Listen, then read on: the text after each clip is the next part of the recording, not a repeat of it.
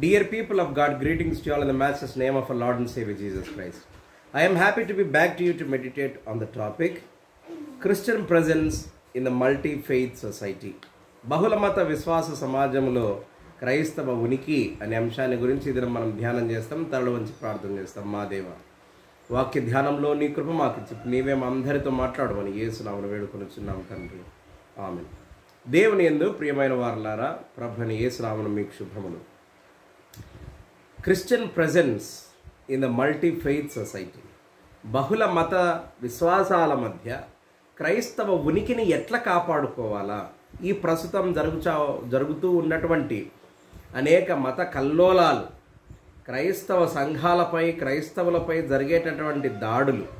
వీటికి కారణాలు ఏమై ఉండవచ్చు? అనేకానేకములైన కారణములు ఉండవచ్చును. అయితే వాటిలో కొన్నేంటివి? కొన్ని ఒకవేళ మన దుశ్చర్యల వలన లేదంటే ఇతర మతాల ఎడల మనకున్నటువంటి భావన వలన ఇట్లాంటివి మనల్ని కూడా మనం ఒకసారి పరీక్షించుకోవలసిన అవసరత ఉంది. ముఖ్యంగా భారతదేశం వంటి ఒక దేశంలో where there are multi religious faiths living together in harmony and peace what must be our attitude towards other religions and how should we keep up the dignity of our own faith how should we safeguard our faith how should we cherish and grow in our faith అది ప్రశ్న అయితే ప్రియమైనటువంటి వారులారా Bible గ్రంథములో అనేక మంది దైవజనులు దేవుని ఎడల భయభక్తులు గలవారు ఎట్ల తమ ఉనికిని అన్య మతస్థుల మధ్యలో పర విశ్వాసుల మధ్య తమ ఉనికిని ఎట్లా కాపాడుకోగలిగినారు వాళ్ళు అనేటటువంటి సంగతులు చూస్తే మనకు కూడా ఒక ఒక విధమైన ఉత్సాహం లేదో ఒక inspiration for us to keep up and safeguard our faith in the multi religious faith అందుకు ఒక పెద్ద ఉదాహరణ మనకి ఎవరు అని అంటే దానియలు. షడ్రక్ మెషక్ అభెద్నగోలు దానియలు వీరంతా. చెరకు పట్టబడినారు. దానియల్ గ్రంథం మొదటి అధ్యాయంలో మనం చూసినట్టయితే అందరూ చెరకు కొనుగోబడిన డెమకద్నేజర్ అందరిని తీసుకొని వెళ్ళిపోయినాడు. అక్కడ పోయిన తర్వాత వాళ్ళ వాళ్ళు ఆచరించే మతాలు వేరు. వాళ్ళు ఆచరించే దేవుళ్ళు వేరు. వాళ్ళు కొలిచే దేవుళ్ళు వేరు. యూదులు అందున దేవునికి అత్యంత భయభక్తి గలవారు రెండు విషయాలు వీళ్ళలో మనం ఆలోచించాలి. ఒకటి యవనస్తులు దేవర్ యంగ్స్టర్స్ ఈ యవనస్తులు చిల్లా పల్లగా ఎట్లా ఎట్లా పడితే అట్లా తిరగగలరు వాళ్ళు. అయితే ఈ షడ్రక్ మెషక్ అభ్యర్థనగో దానిలు వీళ్ళు మాత్రము వాళ్ళ విశ్వాసాన్ని కాపాడుకున్నారు. వాళ్ళని గైడ్ చేయడానికి వాళ్ళ పెద్దలు కూడా లేరు. పరదేశానికి కొనిపోబడినారు. అక్కడ ఎవరు లేరు? వాళ్ళని చెక్ చేసేవారు లేరు గైడ్ చేసే వాళ్ళు లేరు తప్పును సరిచేసే వాళ్ళు లేరు ఎవరు లేరు. అయినా కూడా వారు వారు చేసినటువంటి ఆ పని మనం చూస్తే ఆశ్చర్యం అనిపిస్తుంది మనకు. అందరికీ చెరకు కో కొనిపోబడిన యవనస్తులందరినీ అందున జ్ఞానవంతులైన వారిని బలవంతులైన వారిని వీళ్ళను తీసుకొని పోయి వాళ్ళకు అక్కడి నెబుకద్నేజరు పాలించుచున్నటువంటి దేశంలో అక్కడ ఉన్నటువంటి భాష నేర్చుకొని అక్కడ పరిస్థితులను నేర్చుకొని అక్కడ పని చేయడానికి వీలైన ఈ యవనస్తులు వాళ్ళకు కావాలా? సర్లెమ్మని తీసుకొని పోయినారు వాళ్ళను అక్కడ పెట్టినారు. ఇప్పుడు వాళ్ళు చేయాల్సిన పని ఏంటంటే ఈ ఎవరినైతే తీసుకుపోయినారో వీళ్ళందరికీ కల్దీయ భాష నేర్పియాలా? అక్కడ వారి మత పద్ధతులు నేర్పాలా? వాళ్ళ భోజనం పెట్టాలా? పోషకాలను పెట్టాలా ఇవన్నీ. సో ఇప్పుడు వీళ్ళ ముందున్న టాస్క్ ఏంటంటే రాజు భుజించే భోజనమే వీళ్ళకు పెట్టాలని నిర్ణయించినారు. రాజు భుజించే భోజనం ముందు అన్య దేవతలకు అర్పించబడుతుంది. ఎందుకనంటే అందులో ఏవైనా విష పదార్థాలు ఒకవేళ ఉంటే దేవత వాటిని హరిస్తుందని మరి రాజుకు ఆరోగ్యాన్ని ఇస్తుందన్నది వారి విశ్వాసం. ఇప్పుడు షద్రక్ మెషక్ అభెజ్ఞగోలు దానియలు వీళ్ళు చేసినటువంటి పని ఏంటంటే పరమత ఏ దేశంలో ఉన్నారో అక్కడ దేవతను కానీ వారి మత పద్ధతులను కానీ వేటిని కించపరచకుండా తప్పులు పట్టకుండా వారి విశ్వాసాన్ని కాపాడుకుంటున్నారు. ఇసి వాళ్ళల్లో ఆ విశ్వాసం ఉంది. ఏం మాట్లాడుకుంటున్నారు వాళ్ళు అని అంటే మనము ఆరవ వచనంలో యూదుల నుండి ధాన్యాలు హరణ్య మిషాయేలు అజర్య అనువారు వీరిలో ఉండిరి.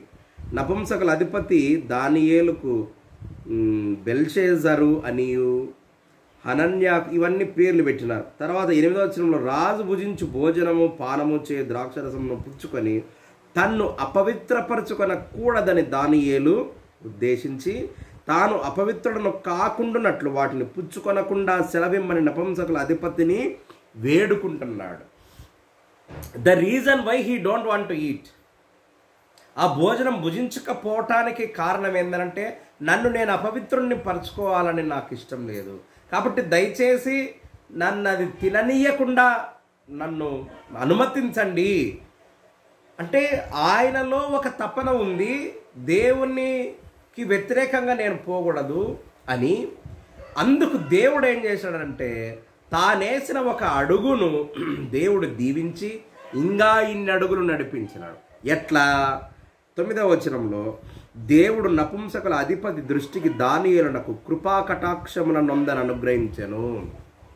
ఆ నపుంసకుల అధిపతికి దానియల మీద దయ పుట్టించినాడు దేవుడు. దానియలకు ముందు మనసులో ఉంది నేను అపవిత్రుణ్ణి కాకూడదు నేను దేవునికి విధేయుడనై ఉండాలని. ఆ ఆలోచనకు దేవుడు సహాయకుడైనాడు. అందుకని నపుంసకుల అధిపతి దయ పుట్టించినాడు దేవుడు దానియల మీద. సరే అట్లనే చేసినారు. శాఖాధాన్యాదులే భుజించినారు. మాసం గ రోజులు వాళ్ళు పెట్టిన గడువు ముగిసిన తర్వాత వాళ్ళు రాజు సముఖం దగ్గరికి తీసుకొని పోగానే ఎట్లున్నారు వీళ్ళు? పదిహేడవ వచనంలో. దానిల గ్రంథం మొదటి అధ్యాయం పదిహేడవ వచనంలో. ఈ నలుగురు బాలుల సంగతి ఏమనగా దేవుడు వారికి జ్ఞానమును సకల శాస్త్ర ప్రావీణ్యతయు వివేచనయు అనుగ్రహించారు మరియు దానియలు సకల విధములకు దర్శనములను స్వప్న భావములను గ్రహించి తెలివిలవాడై ఉండేను. ఇరవై వచ్చరంలో రాజు వీరి యొద్ద విచారణ చేయగా జ్ఞాన వివేకముల సంబంధమైన ప్రతి విషయములో వీరు తమ రాజ్యమందంతట నుండి శకునగాండ్ర కంటెను గారడి విద్య గల వారి కంటెను పదియవ వంతు శ్రేష్ఠులని తెలపబడేను. They were ten times more brilliant than that of the others దేవునికి భయపడినారు. పరమతం మధ్య పరమతస్థుల మధ్య పర విశ్వాసుల మధ్య వాళ్ళను కించపరచకుండా వాళ్ళను ఏమాత్రం దూషించకుండా వాళ్ళను తూలనాడకుండా తమ విశ్వాసాన్ని కాపాడుకొనగలిగినారు షడ్రక్ మెషక్ అబెద్నగో దాన్ని అటువంటి స్ఫూర్తితో నేటి క్రైస్తవ తరం ముందుకు సాగాల? ఇంకా అపోస్తరుల కార్యముల గ్రంథంలో మనం చూస్తే అక్కడ దేవుడు దీవించినది ఏది నిషిద్ధంగా? వాళ్ళతో కలసకూడదు వీళ్ళతో కలసకూడదు వీళ్ళు ఇట్లా వాళ్ళు ఇట్లా అని మనకు ఒక పరిధిని గీస్తున్నాం. You see Jesus Christ is not a limited God you cannot limit Jesus Christ to a particular community ఆయన అందరికీ దేవుడు. ఇదిగో సర్వలోకమునకు కలగబోవు. మహా సంతోషకరమైన సువార్త ఇది. కేవలం క్రైస్తవులకు యూదులకు ఇస్రాళ్ళకు కాదు.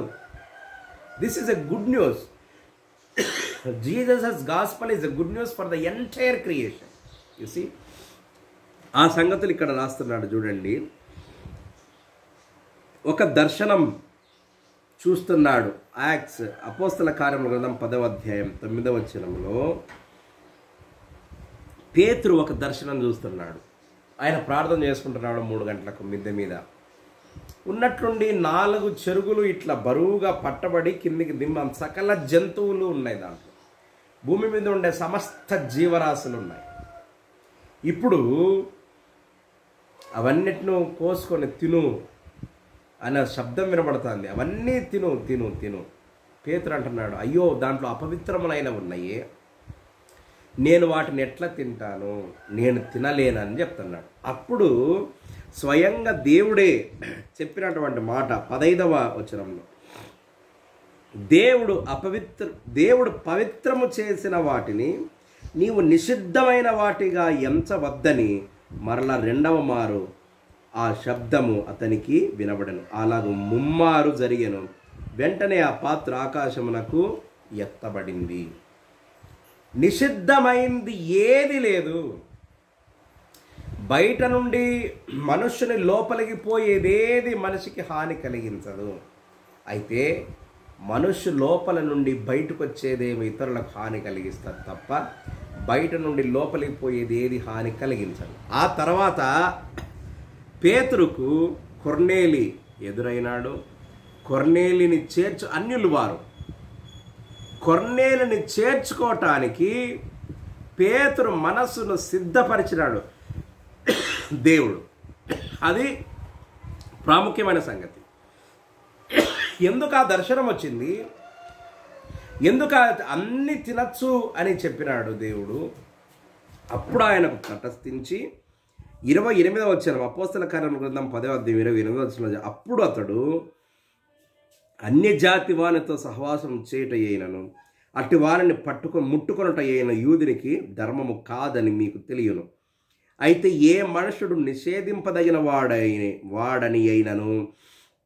అపవిత్రుడని అయినను చెప్పకూడదని దేవుడు నాకు చూపించి ఉన్నాడు కాబట్టి నన్ను పిలిపించుటకు నన్ను పిలిపించినప్పుడు అడ్డమేమి చెప్పక వచ్చి తిని గనక ఎందు నిమిత్తం నన్ను పిలిపించితివో దాని గురించి అడుగుడని వారితో చెప్పాను. ఏసి. దేవుడు చూపించడం నాకు ఎవడు అంటరాని వాడు కాదు. ఎవడు పనికిరాని వాడు కాదు ఎవడు అపవిత్రుడు కాదు. దేవుని దృష్టిలో అందరూ సమానులే. అయితే వారందరినీ చేర్చుకుంటే తప్ప మీరు వారి యొద్దకు వెళితే తప్ప వారిని మీ యొద్దకు తీసుకొని రాలేరు. సో మనలో మనలో అంటే ఎవరైతే అన్యుల అన్యుల అపవిత్రులని ఎవరైతే భావిస్తున్నారో ఆ ఆలోచన తీసివేయాలా? ముప్పై నాలుగవచనంలో దేవుడు పక్షపాతి కాడు నిజముగా గ్రహించి ఉన్నాను.